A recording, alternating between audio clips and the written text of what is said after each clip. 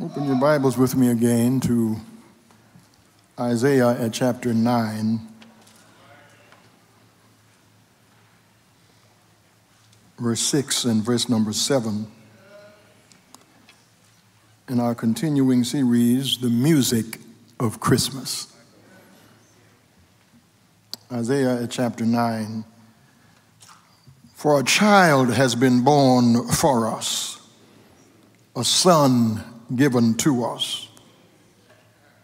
Authority rests upon his shoulders, and he is named Wonderful Counselor, Mighty God, Everlasting Father, Prince of Peace. His authority shall grow continually, and there shall be endless peace for the throne of David and his kingdom. He will establish and uphold it with justice and with righteousness from this time onward and forevermore. The zeal of the Lord of hosts will do this. Thank you. You may be seated. The grass withers and the flower fades, but the word of our God shall stand forever.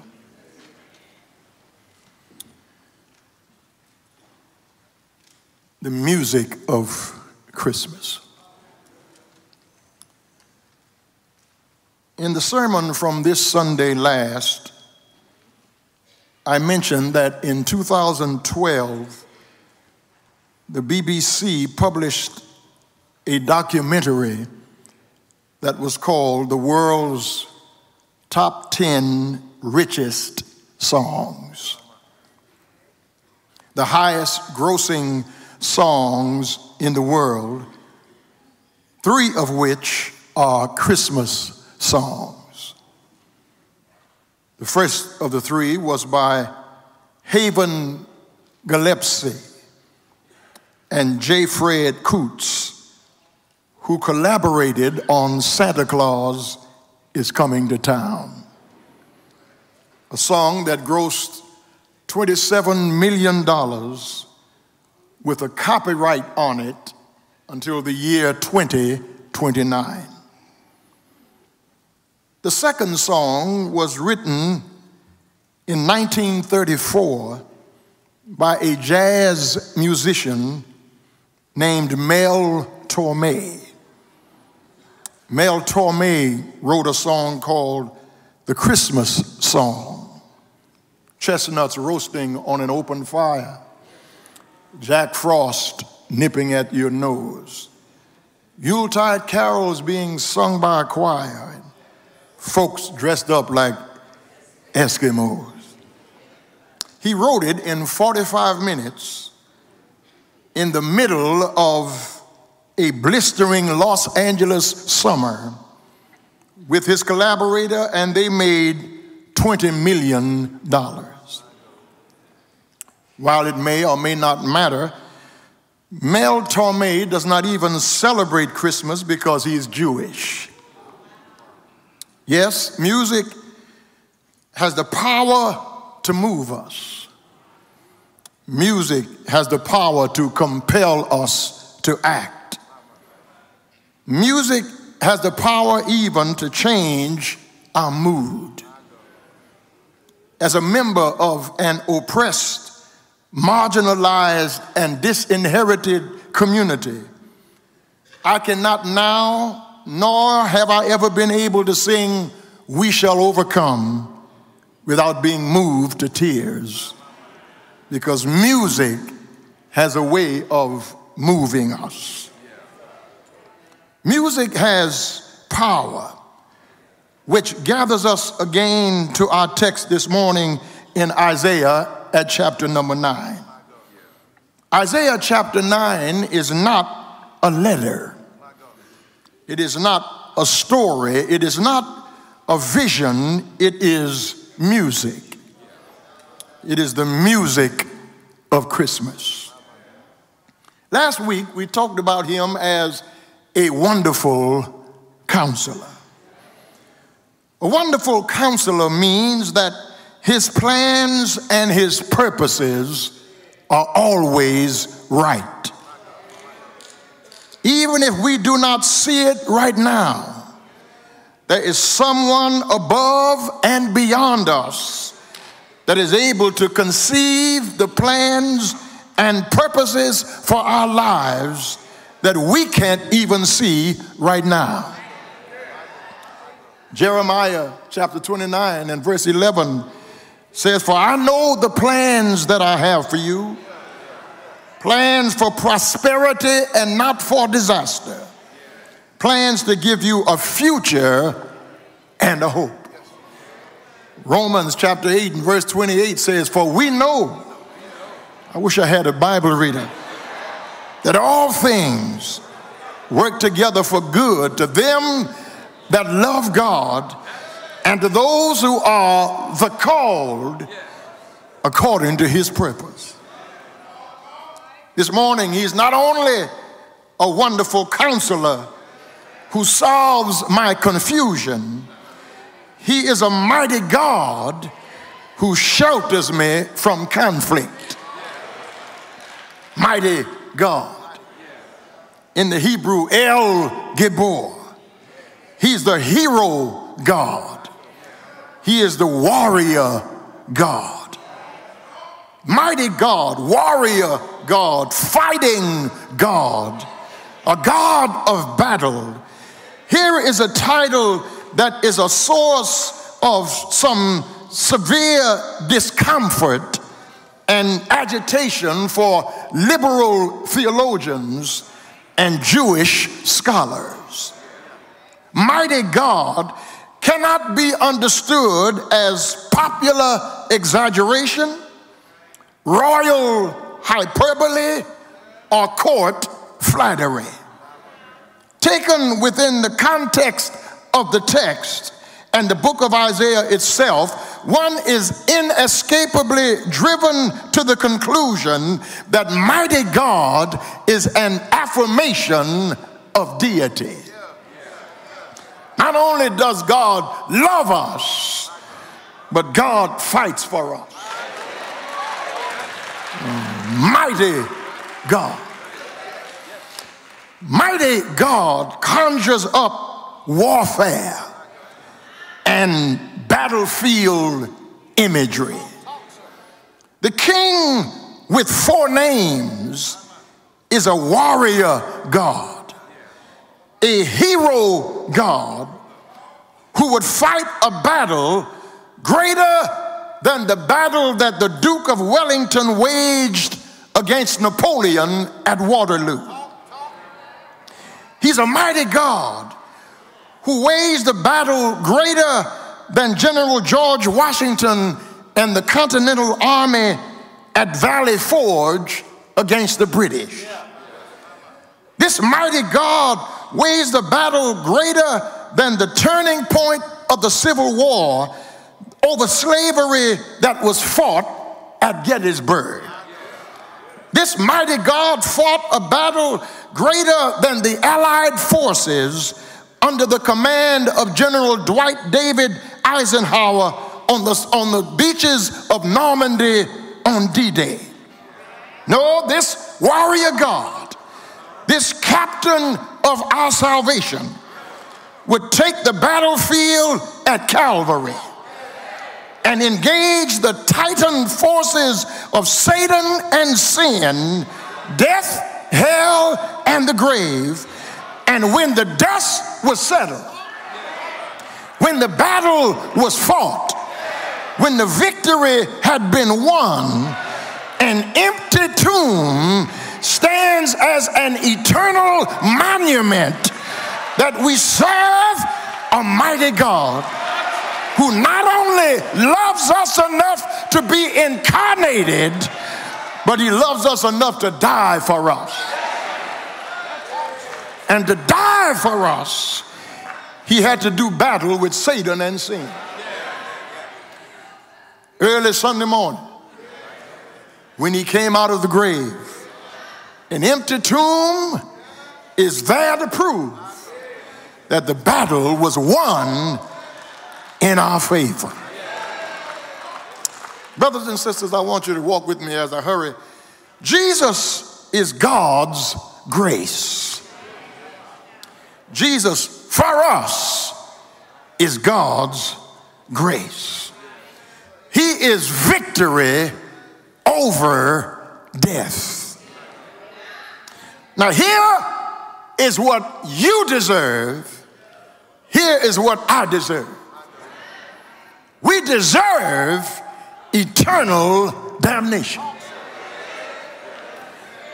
We deserve death because the wages of my sin and yours is not life, but death. We deserve to be in hell this morning. There's nothing that we bring to God that can assuage God's wrath towards us except somebody die in our place. The just for the unjust, the righteous for the unrighteous. And so, in order to make his death and his life, his burial and his resurrection make sense, a child is born. That's human agency. But a son is given, that's divine mercy. For a child to be born, there was human participation. But for a son to be given, that's divine initiation. He became what I am that I might become what he is. He lowers himself. He lets himself be born in a world contaminated with weakness and sin. Let me see if I can help us. The transcendent one condescends. The creator lets himself be created. Infinity becomes time bound. Perfect righteousness becomes sin for us. Who knew no sin that we might become the righteousness of God. Let me put it another way. If there's a yardstick to measure sin this morning, maybe I'm at three feet and you at two feet, but the measurement is a hundred feet. And so it does not matter if you come up to 90, the measurement is 100. So there's some of us in here a little better than the rest of us in here, but all of us in here deserve punishment. Because there's so much good in the worst of us and so much bad in the best of us it behooves each of us not to look down on the rest of us.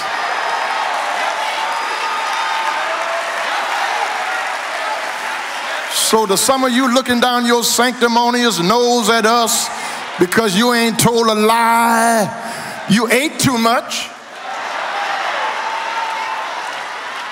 And for the rest of you who looking down at us because you haven't committed adultery, you cheated on your taxes.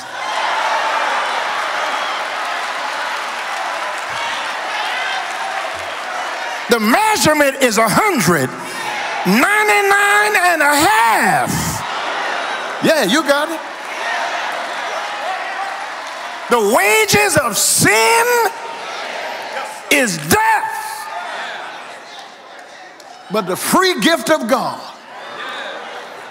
is eternal life. And so God sent a child to be born, and at the same time, he gave a son. And for the first time in human history, instead of the baby looking like its mother, the mother looked like the baby. He's older than his mother and the same age with his father. He was wounded for our transgression, bruised for our iniquity. The chastisement of my peace was upon him. I wish I had a witness here. God laid on him the iniquity of us all. And through Jesus Christ being born, he is for us God's grace. And I don't care where you went to college. I don't care what you drive, what you own, where you live, or what you have. All of us here this morning need the grace of God. Ah. we deserve death, but He gives us new life through Jesus Christ. I'm trying to hurry here. Not only is Jesus God's grace, Jesus is God's glory. He gave us victory over death by becoming God's grace. And now he gives us victory over sin by becoming God's glory. Augustine of Hippo, Bishop of Carthage in North Africa, one of the most famous of the early church fathers, posited the notion of human nature in its fourfold state. In the Latin, it's called posse peccare, meaning able to sin. Non posse, non peccare means not able not to sin. Posse non peccare means able not to sin. All three of those, I fall in those categories. Not only am I able to sin, but I'm not able not to sin. Paul helps us right here. Because Paul says, every time. I wish I had a crook in here like me. Every time I have a desire to do good, evil is always present. Have I got a witness? The good that I would do, I find myself not doing. And the evil that I don't want to do, that's exactly what I do. Oh, wretched man, not that I was, but that I am. I'm able to sin. I'm not able not to sin. And I'm able not to sin, but I sin anyway. Can I run that by you one more time? I'm able to sin. I'm not able not to sin, and I'm able not to sin, but I sin anyway. But then this, this last one, non posse peccare, unable to sin. Jesus is the only living, loving personality who was incapable of sin. In order for God to save us, there must be a sinless substitute. God sent prophets and, and God sent fathers in the Old Testament, but they were posse peccare. They were non posse, non peccare. They were posse, non peccare. They, they were not able not to sin. Abraham lied and said Sarah was his sister when she was really his wife. Moses killed a man, murdered him, buried his body in the sand. David took another man's wife to bed And to cover up his sin, had that same man killed. David's son Solomon had 700 wives, 300 women on the side. He was not able to save us. David was a man after God's own heart, but God would not let David be our Savior. But He sent the Son of David, who is incapable of sinning, and He became my sinless substitute. Because in order for God to redeem me, somebody had to die in my place. Uh, I'm almost through. He's God's grace. He's God's glory. He's victory over death. He's victory over sin. But this mighty God is God's greatness. Because in Him, we have victory over the grave. We were born dying. Everybody in here is born dying. One day, if the Lord delays his coming, we're going to have your funeral or mine. Because each one of us have an appointment with death. Because of Adamic sin, every one of us will taste death if the Lord delays his coming. Yeah. But when you are a child of God, you die twice and recognize that this death, this, this second death, is this first death rather, is death to sin and death to self so that you can come to life in Jesus Christ. And so when you die once, you can live twice.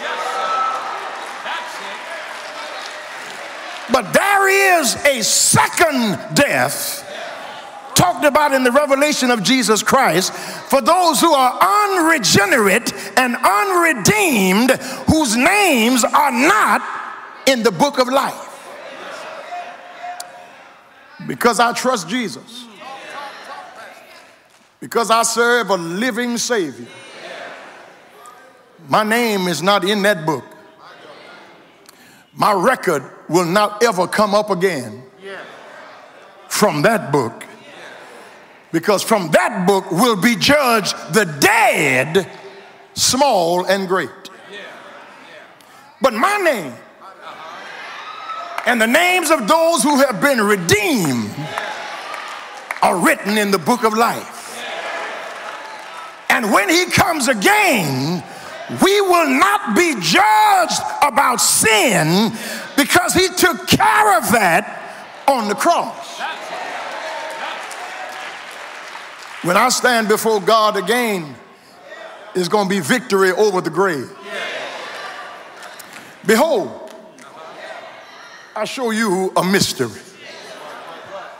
We shall not all sleep, but we shall all be changed.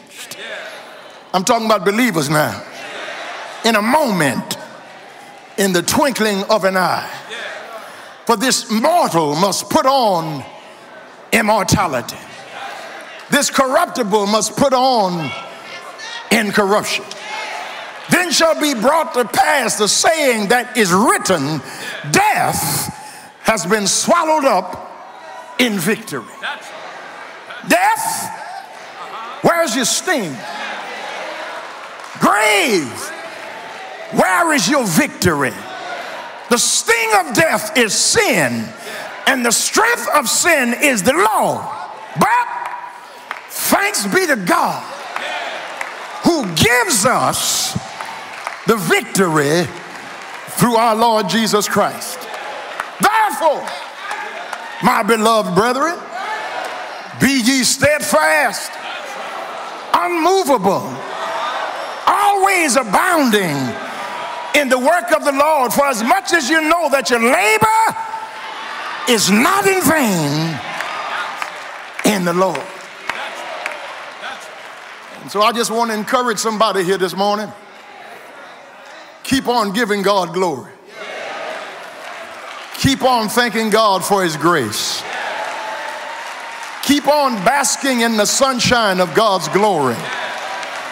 Keep giving praise and hallelujah to God for His greatness because He didn't have to do it. He didn't owe me anything, but I owe Him everything. Have I got a witness here? God did not owe me to wake me up this morning because I've sinned enough last week that I ought to be in my grave. But thank God for grace. Thank God for mercy.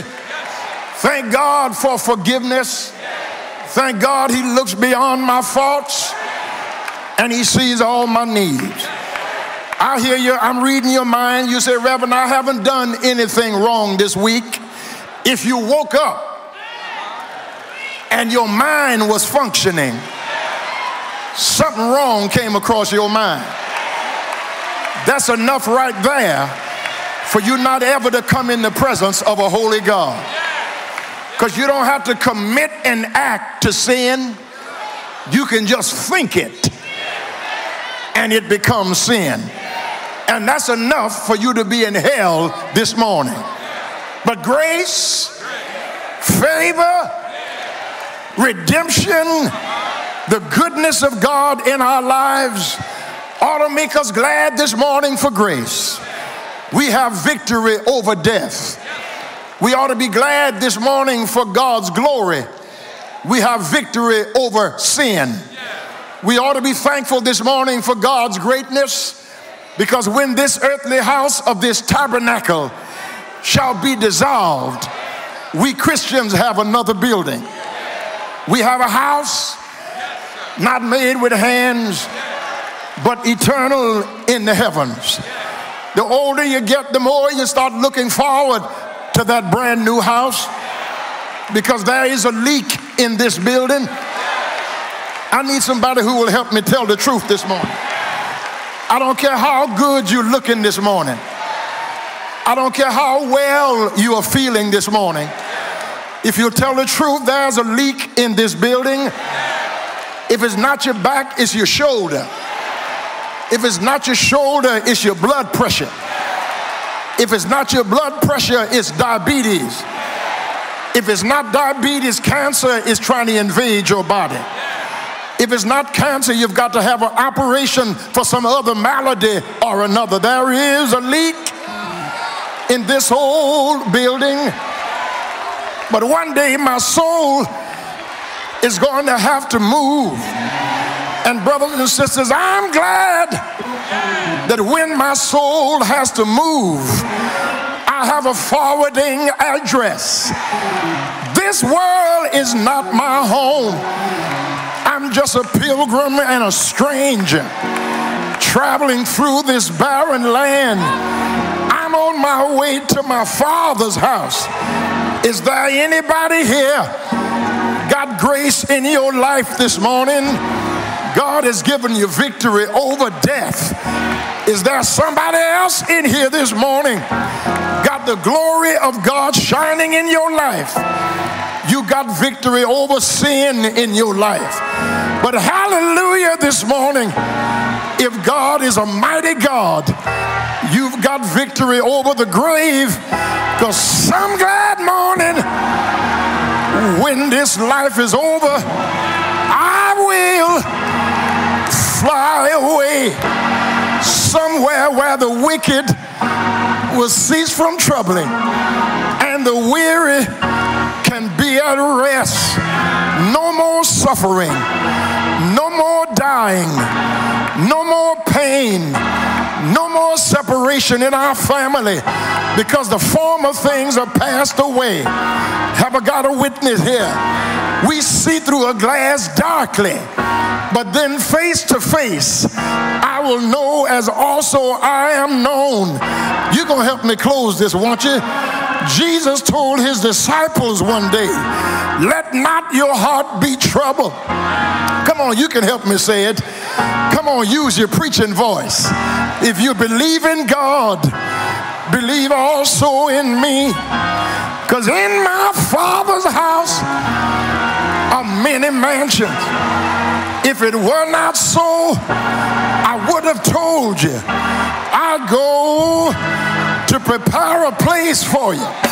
And if I go to prepare a place for you, I will come again and receive you under myself, that where I am, there you will be also. One of his disciples said, Lord, we don't know where you're going. Can we know the way? Jesus said, I am the way. I am the truth.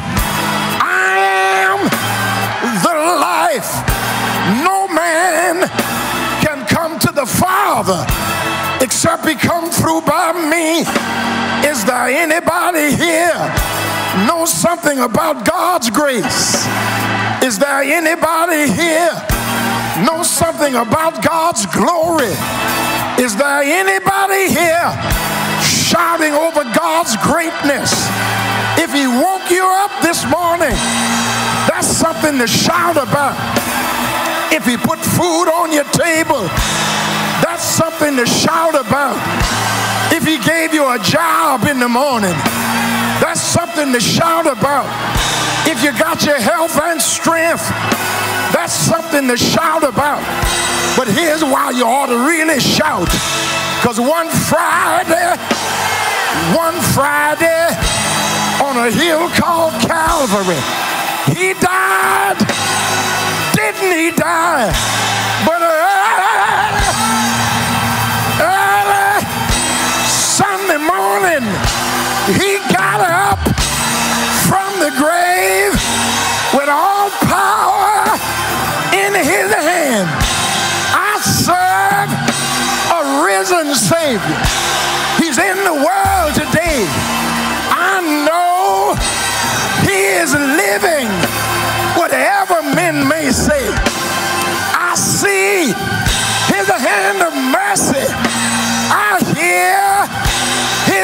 voice of cheer. And just the time I need him, he's always near. He lives. He lives. Christ Jesus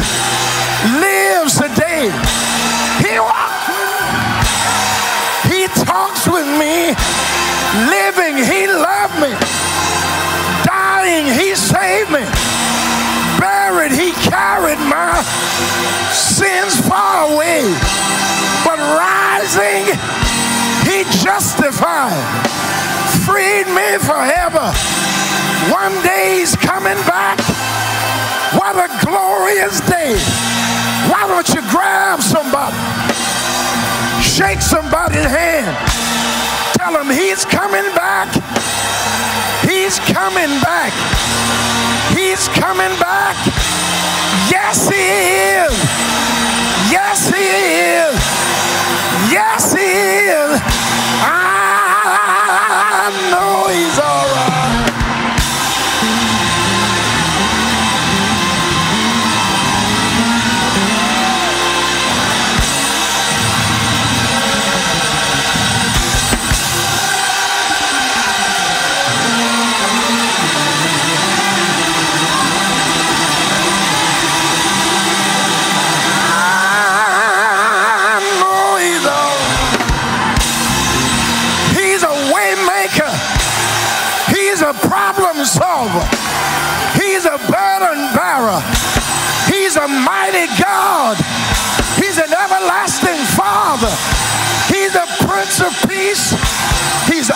Redeemer, Abel's Vindicator, Abraham's sacrifice. Y'all know him, don't you? He's Noah's Ark, Moses' bush on fire, God's only son, Mary's baby boy, distinctive in supernatural capacity, superlative in sovereign majesty, exclusive in spiritual beauty, radiant in eternal splendor, matchless in supernal deity. He's the God of gods, the Prince of princes, the fairest of 10,000. Have you tried him? Won't he open doors? Won't he make a way? Say yeah. Yeah. Yes. Yeah. I know he's